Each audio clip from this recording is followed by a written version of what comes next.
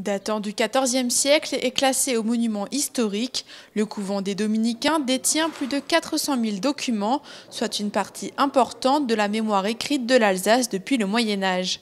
Ce lieu deviendra une bibliothèque publique, fonction qu'il occupait déjà avant sa restauration, mais il sera également composé d'un espace musée, d'un lieu de conservation de collections de livres anciens et d'un espace d'études et de recherche.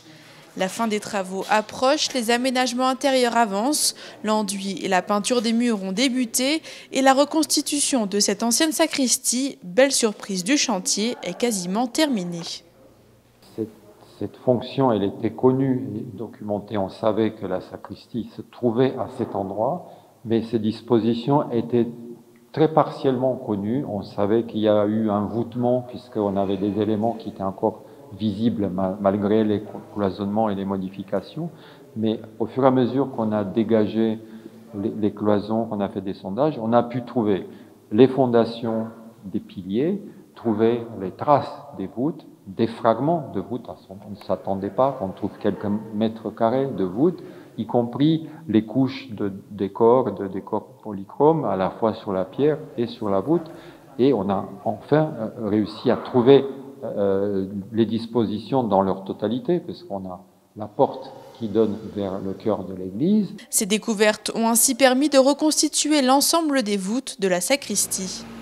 À l'extérieur, après la pose des réseaux, les aménagements paysagers du jardin du cloître vont également débuter. Une fois le chantier terminé, ce lieu accueillera différents publics, des passionnés de lecture, des touristes, mais aussi des scientifiques. Et j'ai souhaité aussi que les colmariens puissent s'accaparer ce lieu et puissent aussi y pénétrer, y rester, le visiter évidemment euh, gratuitement. Et euh, l'idée est apparue qu'il fallait créer une grande salle de lecture pour les colmariens, accessible gratuitement.